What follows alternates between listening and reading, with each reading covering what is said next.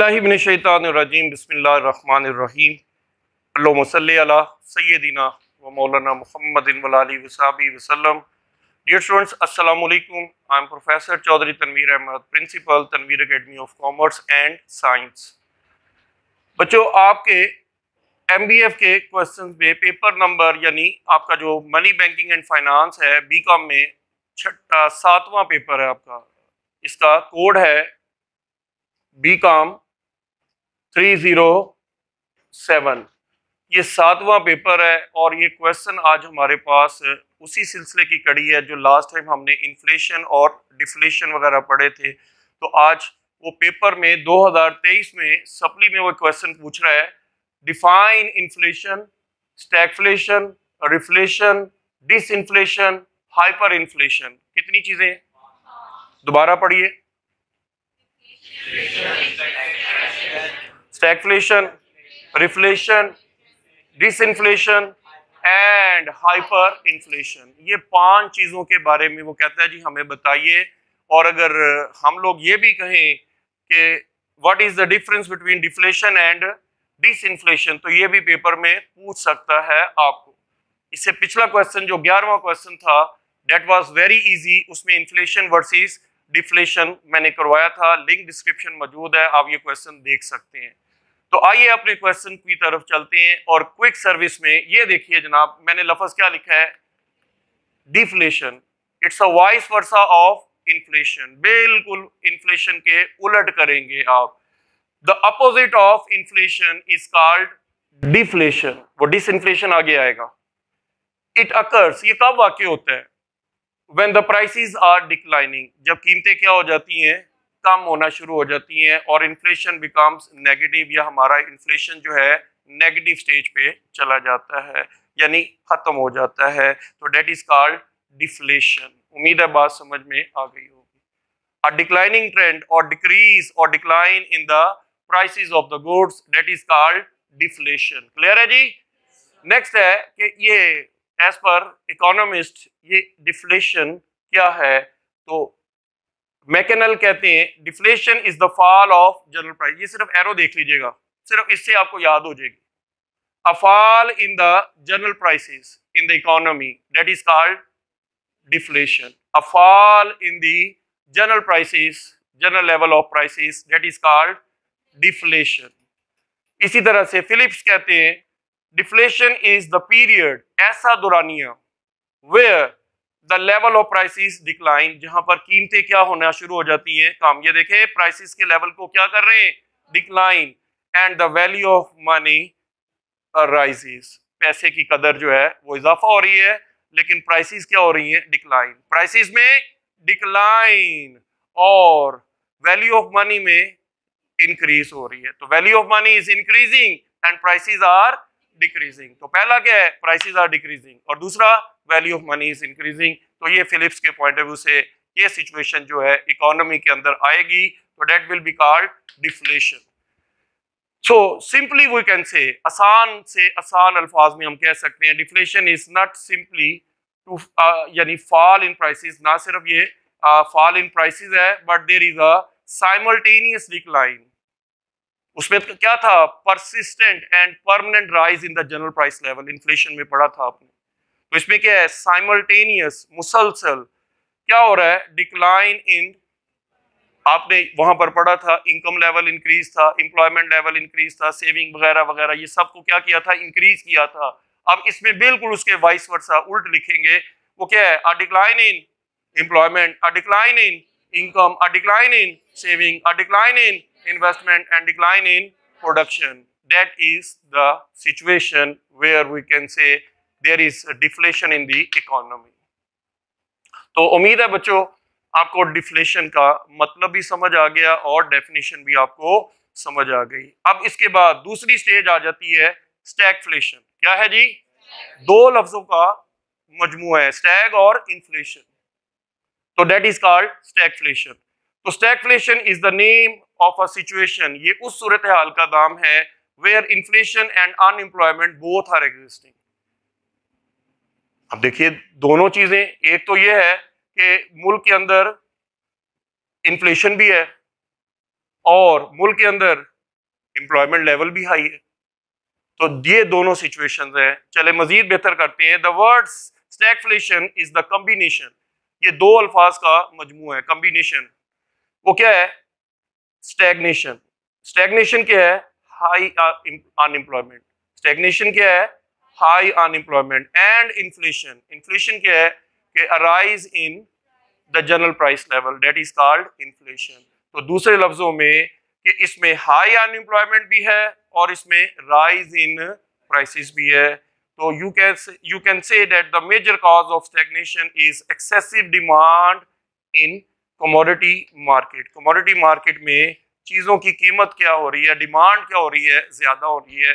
तो उस ज़्यादा होने की वजह से हमारे पास कीमतें क्या हो रही हैं? ज़्यादा हो रही हैं। लेकिन साथ साथ अनएम्प्लॉयमेंट जो है, वो भी ज़्यादा हो रही है। तो this type of situation in the economy is called stagflation clear है बच्चों? एक और डेफिनेशन इसमें डेफिनेशन देख लीजिए। According to Thomas stagflation is the combination of stagnation और रिसेशन ये होती है रिसेशन दिस इज़ रिसेशन ऊपर से नीचे की तरफ़ बूम पीरियड के बाद जो अगली स्टेज होती है वो रिसेशन होती है ट्रेड साइकिल की फ़ेज़ में। तो ये देखिए कि क्या हो रहा है इसमें। रिसेशन है and inflation in the economy उम्मीद है कि बात समझ में आ गई है। ग्रेगरी कहते हैं stagflation is the combination of high unemployment देख लीजिए, वही बात आ रही है। High unemployment and high inflation high inflation mean rise in prices in the stagflation economy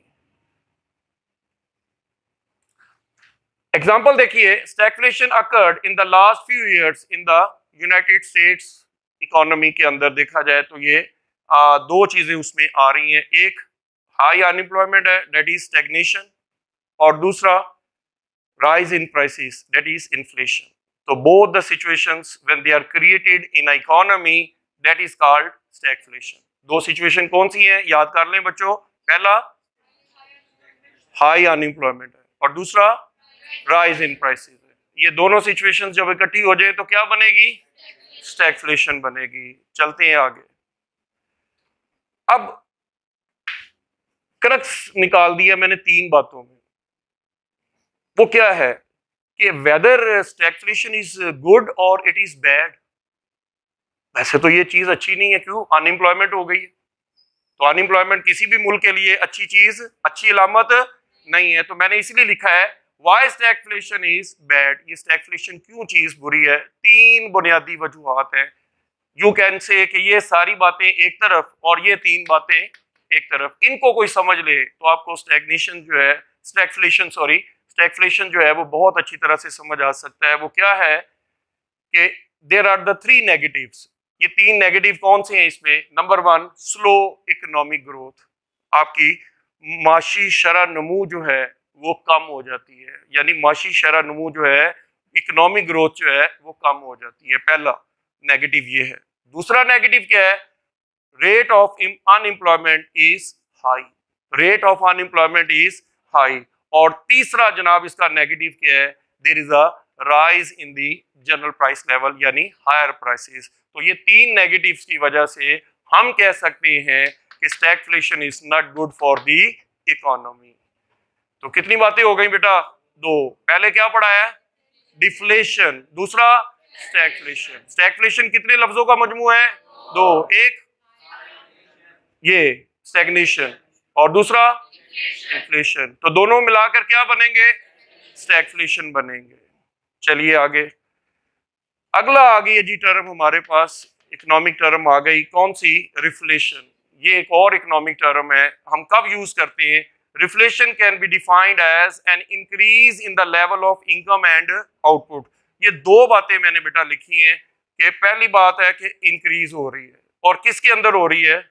income में और आउटपुट में। Both are increasing income as well as output income is increasing output is increasing that is reflation clear है जी अब देखिए this is one of the remedy to meet the depression ये depression को meet करने के लिए एक सिचुएशन है, जिससे हम अपने डिप्रेशन पे काबू पा सकते हैं by those who think that the money factor is primary cause of such depression. इसके लिए बकायदा जनाब हम अपने इकोनॉमिस्ट का व्यू पॉइंट भी चेक कर लेते हैं कि वो रिफ्लेशन के बारे में क्या कहते हैं। Reflation means raising raising the level of economic चीज़ बेटा आप इसमें समझ सके वो है increase in income and output इसके लिए गवर्नमेंट कुछ आर्टिफिशियल मयर्स होती है। आर्टिफिशियल मयर्स के ज़रिए से गवर्नमेंट जो है, ये इनकम और आउटपुट ये दोनों को क्या करना चाह रही है इंक्रीज करना चाह रही है। तो थॉमस भी इसी सिलसिले में कुछ बात कर रहे हैं। Reflation means raising the level of economic activity in a country by government action बात वही है कि गवर्नमेंट जो है, वो क्या कर रही है? Raising the level of economic activity तो दो बातें याद रखनी है। रेजिंग दी लेवल ऑफ़ किसका? इकोनॉमिक एक्टिविटीज़ किसकी वजह से? That is by the government action government action की वजह से raising the level of economic activity. Cole कहते हैं reflation means an inflation deliberately जानबूझ के मुल्क में क्या लाया जा रहा है? इन्फ्लेशन लेके आ रहा है अंडरटेकन टू रिलीव डिप्रेशन के डिप्रेशन वाली स्टेज से निकला जा सके। In normal conditions government also tries to keep creeping inflation देखिए गवर्नमेंट खुद भी चाहती है कि एनुअली जो है कीमतों में थोड़ा ताकि प्रोड्यूसर को कोई इंसेंटिव मिले तो ज़्यादा से ज़्यादा वो प्रोडक्शन करके कीमत ज़्यादा से ज़्यादा लेने की कोशिश करे। तो क्रीपिंग इन्फ्लेशन हर गवर्नमेंट को आ, जो है वो चाहती है कि थोड़े सा क्रीपिंग इन्फ्लेशन थोड़ा सा क्रीपिंग इन्फ्लेशन जो है, होना चाहिए, जिसका रेट आपको पता ही है टू परसेंट के करीब है जनाब तो ये इन्फ्लेशन जो है, ये गवर्नमेंट खुद चाहती है डिलिबरेटली चाहती है कि थोड़ा सा इन्फ्लेशन हो, इससे लेवल ऑफ़ इनकम और लेवल ऑफ़ आउटपुट दोनों बढ़ेंगे। Up reflation is an expansion in the level of output output क्या है? बढ़ रही है। In economy by government stimulus using either fiscal policy और मॉनेटरी पॉलिसी यानी दूसरे लफ्जों में रिफ्लेशन में गवर्नमेंट क्या करती है? Number one increase in money supply बहुत पॉइंट इंपॉर्टेंट है। ये चार पॉइंट आपको समझ आ गए तो आपको रिफ्लेशन समझ में आ जाएगा। रिफ्लेशन में पहला स्टेप क्या है? इंक्रीज इन मनी सप्लाई दूसरा lowering the rate of taxes क्यों? कि इनकम और आउटपुट ये बेस बना लीजिएगा। इनकम और आउटपुट को क्या करना चाहते हैं? बढ़ाना चाहते हैं। और तीसरा रिड्यूसिंग दी इंटरेस्ट रेट सारी बात है इंटरेस्ट रेट रिड्यूस करेंगे तो लेवल ऑफ़ इन्वेस्टमेंट भी बढ़ेगा फिर आपका। और investment is in large proportion capital projects के अंदर जो है, ज़्यादा से ज़्यादा जो है इन्वेस्टमेंट आएगी। तो इस तरह से दो चीज़ें हमारी बेहतर हो सकेंगी इनकम एंड आउटपुट तो reflation is nothing except an increase in the income and output उम्मीद है ये भी बात समझ आ गई है। नेक्स्ट आ जाता है जी डिस इन्फ्लेशन जैसा कि नाम से जा रहा है कि इन्फ्लेशन क्या है? डिस इन्फ्लेशन की शक्ल इख्तियार कर रहा है। वो कैसे? The movement from inflation to deflation inflation की स्टेज से निकलकर आप किधर जा रहे हैं? डिफ्लेशन में. And there is a disinflation that is artificial created deflation के आपने डिफ्लेशन खुद से क्रिएट किया है। जबकि इन्फ्लेशन हो गया हुआ था, उसको खत्म करने के लिए हम क्या कहते हैं? Disinflation disinflation is a mild deflation, यानी ये माइल्ड डिफ्लेशन है। जानबूझ के उसको, इन्फ्लेशन को खत्म करने के लिए गवर्नमेंट कुछ मैयर्स ले रही है स्टेप्स ले रही है, जैसे इस आर्टिफिशियल क्रिएटेड डिफ्लेशन तो disinflation is a mild deflation that is undertaken deliberately government जानबूझकर ऐसा करती है बाय यानी सेंट्रल जो अथॉरिटीज हैं, गवर्नमेंट की जो अथॉरिटीज हैं, वो जानबूझकर डिलिबरेटली डिफ्लेशन की तरफ़ जाती हैं।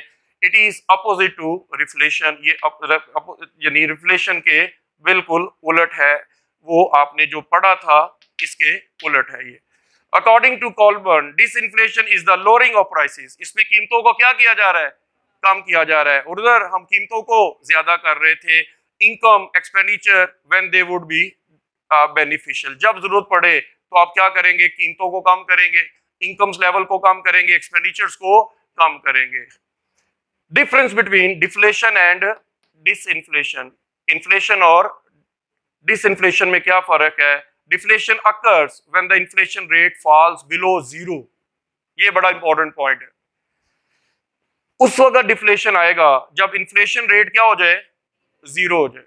नेगेटिव नहीं कहा मैंने। ज़ीरो हो जाए। And the prices generally decline prices क्या होना शुरू हो जाए? गिरावट का शिकार होना शुरू कर दे। तो थ्रू आउट द इकोनॉमी लेकिन दूसरी तरफ़ देखें डिसइंफ्लेशन हैपन्स ये कब आएगा disinflation when the inflation rate falls जब इन्फ्लेशन रेट बहुत नीचे गिर जाए बट रिमेन्स पॉजिटिव पॉजिटिव रहे तो that is the difference between deflation and disinflation disinflation disinflation में क्या होगा जनाब? प्राइसेस कंटिन्यू टू इंक्रीज कीमतें बढ़ती रहेंगी बट स्लो रेट थोड़े थोड़े रेट के साथ कीमतें बढ़ती रहेंगी। लास्ट है हमारे पास hyperinflation it is use to describe a situation ये उस सिचुएशन को डिस्क्राइब करता है कहा? Where the prices of all goods and services तमाम चीज़ों की कीमतें, तमाम खिदमात की जो कीमतें हैं, वो राइज हो रही हैं. That is very important point uncontrollably मतलब ये कि आपने inflation according to the degree of control पड़ा था। एक था सप्रेस्ड इन्फ्लेशन के जिसमें गवर्नमेंट इन्फ्लेशन पे काबू पाने में कामयाब हो गई थी, और एक था ओपन इन्फ्लेशन तो ये समझ लीजिए ओपन इन्फ्लेशन है और गवर्नमेंट जो है इसको कंट्रोल करने की पोजीशन पे नहीं है। In other words hyperinflation is extremely a rapid inflation a galloping inflation generally inflation is termed hyperinflation when the rate of inflation grows more than 50 percent. Per month आजकल आप देख लीजिए, ये अमेरिका के अंदर, ये जर्मनी के अंदर, अर्जेंटीना के अंदर ये मैंने मिसाल लिखी है और पाकिस्तान में तो बिलखसूस डेली आजकल कीमतों की जो है ना इंक्रीज हो रही है और डबल द प्राइसेस पेट्रोल की प्राइस डबल से ज़्यादा हो गई है जनाब इस वक्त और मुख्तलिफ़ अर्शिया खुर्दनोश जो है, इनकी कीमतों में इजाफा हो रहा है। एग्ज़ाम्पल भी ये लिखी है in Germany 1923 the inflation rate rose to unbelievable height prices of the commodities rose billion times वो कैसे a cup of tea was sold one mark पहले क्या था वन मार्क साल के शुरू end of the year the price of the cup was billion of marks so that was the condition of hyperinflation in 1989 in argentina prices were doubling every month हर महीने कीमत क्या हो जाती थी डबल हो जाती थी तो डेट्स ऑल बेटा उम्मीद है इस शॉर्ट स्पैन ऑफ टाइम में ये आपने बड़ा अच्छा सा क्वेश्चन तैयार कर लिया है। अब आपकी बारी है, इसको लिखिए, इसको समझिए, इसको सीखिए और दोस्तों में इसको शेयर कीजिए और अल्लाह करीम आपको कामयाबी अता फरमाए। नेक्स्ट क्वालिटी वीडियो तक के लिए असलम बेटा।